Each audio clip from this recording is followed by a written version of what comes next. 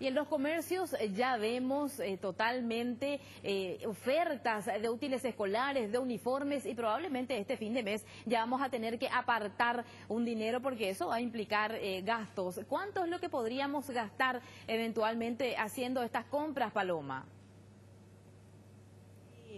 Eh, Carolina, estamos a menos de un mes del inicio de clases y es por eso que hicimos una lista, un precio base de lo que estaríamos gastando en útiles escolares. Para, tenemos 88 mil guaraníes para escolar básica. Los primeros, segundo y tercer grado son 88 mil guaraníes en tan solo librería básica.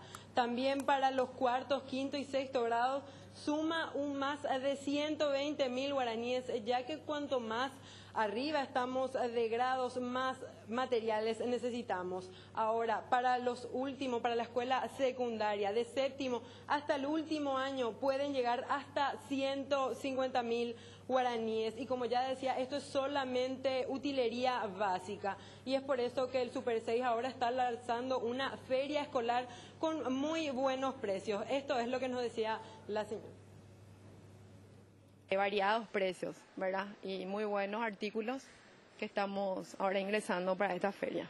¿Qué tipo de artículos? Eh, cuadernos, ¿verdad? De diferentes marcas. Después también en el área de bolígrafos, carpetas,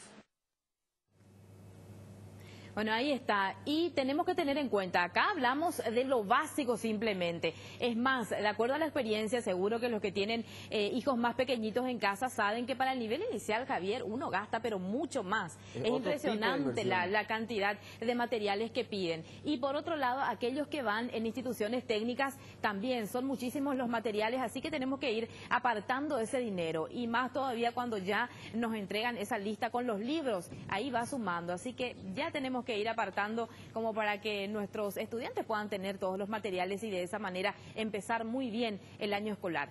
Uniformes, eso nos quedó pendiente. Les vamos a ir contando porque queremos acompañarles en esta etapa de las clases que ya está por empezar.